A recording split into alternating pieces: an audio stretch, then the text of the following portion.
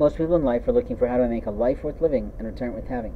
Isn't it interesting how people assess someone in seconds and decide on their own without consulting God whether or not they should talk to someone? I did that once in my life, I'm pretty sure. And I did it when I was in a professional network that I'd been invited to, sort of towards the aging out of my business.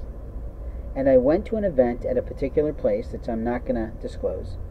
And I'm not going to disclose who invited me because they weren't like my favorite people, but they did have some notoriety. And I knew that there'd be something there. And God said, go.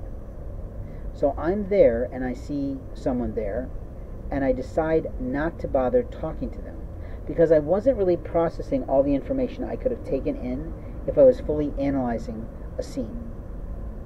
But then what I discovered is that incredible individual was actually talking as the presenter or one of them in that event. And I totally changed my mind.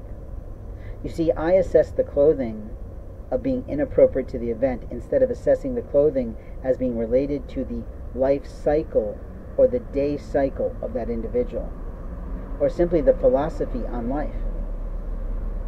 They were in play clothes at a business event. And in my mind, that told me they weren't serious about what they were doing. But the minute they started speaking, I knew that I had made a mistake. And it is a claim of fame to mine to admit that mistake, that I made a mistake. And I've said it every time and every chance I could get.